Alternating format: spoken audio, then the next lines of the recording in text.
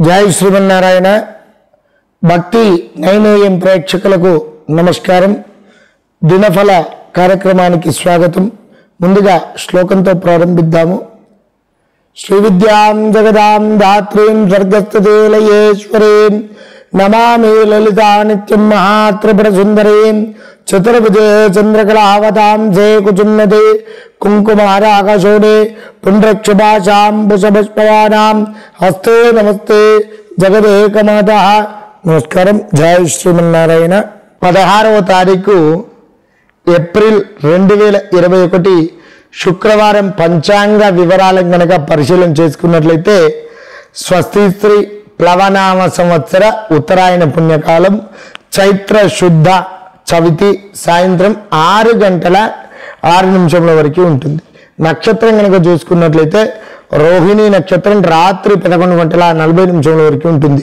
వర్ వర్జం కనుక చూసుకున్నట్లయితే మధ్యాహ్నం రెండు గంటల ముప్పై నిమిషం నిమిషాల నుండి నాలుగు గంటల ఇరవై ఆరు నిమిషాల వరకు ఉంటుంది. సూర్యోదయం కనుక చూసుకున్నట్లయితే ఉదయం ఆరు గంటలకి అలాగే సూర్యాస్తమయం రాత్రి ఆరు గంటల యాభై రెండు నిమిషాల వరకు ఉంటుంది.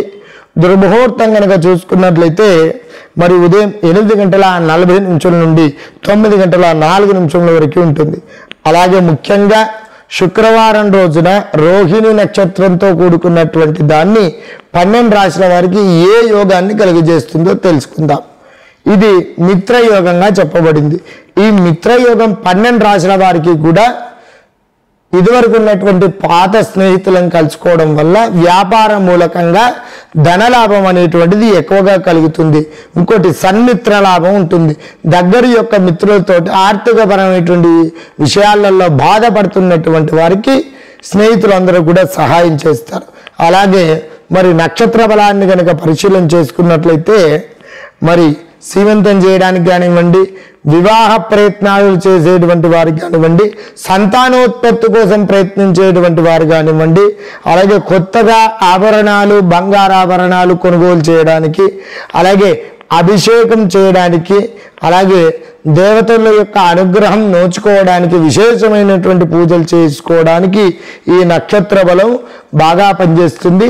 అయితే ముఖ్యంగా ఈ రాశిలో ఉన్నటువంటి వారికి గనక అదృష్టమైనటువంటి దిశ తూర్పు దిశగా చెప్పబడింది. అదృష్టమైనటువంటి సంఖ్య నాలుగవ సంఖ్యగా చెప్పబడింది. అదృష్టమైనటువంటి దిశ తూర్పు దిశగా ప్రయాణాదులు. అలాగే అదృష్టమైనటువంటి రంగు మరి తెలుపు బూడిద రంగు వస్త్రాలు ధరించడం వల్ల మీరు అనుకున్నటువంటి పనులు దిగ్విజయంగా నెరవేరుతాయి.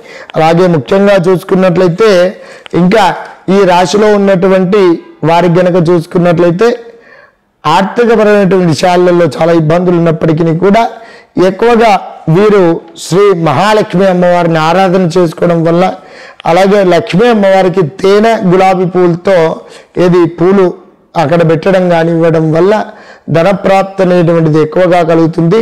ఈరోజు ఎక్కువ లక్ష్మీ కవచ స్తోత్ర పారాయణ చేయండి మహాలక్ష్మి అష్టకం పఠించండి. ముఖ్యమైనటువంటి పనుల మీద బయటికి వెళ్ళేటప్పుడు ఓం శ్రీ మహాలక్ష్మి నమః అనేటువంటి నామజపాన్ని జపించి బయటికి వెళ్ళి రావడం వల్ల మీరు అనుకున్నటువంటి పనులు అతి శీఘ్రంగా నెరవేరుతాయి. ఇవి ఈరోజు దినఫలాలు.